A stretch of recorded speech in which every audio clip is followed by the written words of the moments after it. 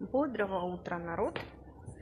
Мне надоела пища для желудка. Я решила сегодня немножко духовно напитаться. Поехала в Феодосию. Это краеведческий музей или музей древности. Это лапидарный дворик. Почему он так называется, в душе не чаю. Сейчас все обойдем. Тут какая-то крестовая палатка стоит. Сейчас почитаем, что это такое. Первоначально лапидарные памятники, гербовые плиты, строительные надписи, нагробия, архитектурные детали и т.д. из Феодосии и других уголков Крыма.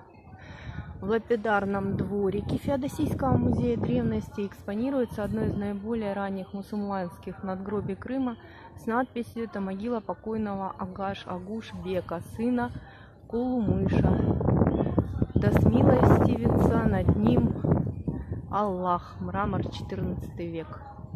Плита с генуэзской надписью и резным орнаментом представляет собой фрагмент верхней части обрамления портала.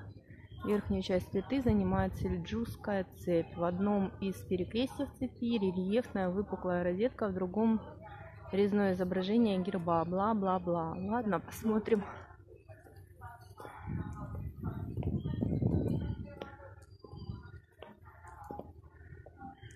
Бассейн какой-то со львами.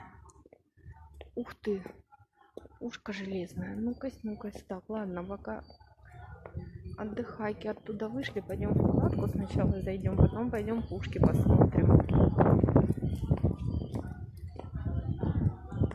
Фотозона, рыцарский шатер тамплиеров. Офигеть, мы прикоснулись к вечности.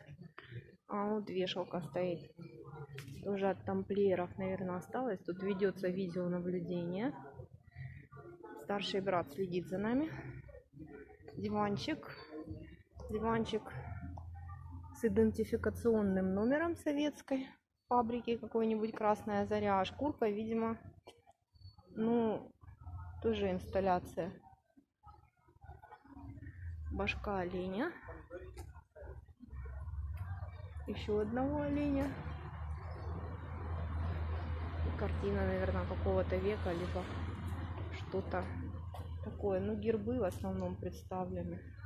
А, это, это орудие пыток, наверное, какая-то. Сейчас прочитаем, да.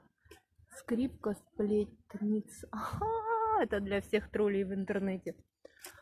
Устройство для наказания лжецов и сплетников. Наказание получило название из-за того, что форма колодок напоминала форму скрипки. Устройство в основном изготавливали из дерева или железа.